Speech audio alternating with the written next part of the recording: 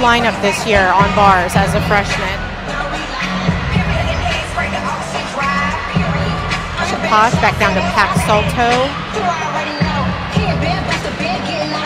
Looking good so far. Former level 10 gymnast out of American Gymnastics. Just her dismount full in. Hop back, but great way to start off for Oklahoma. He's Competed on bars in every meet this year. Last year was also entered the vault lineup for Danielle Sievers. Now for the Gators.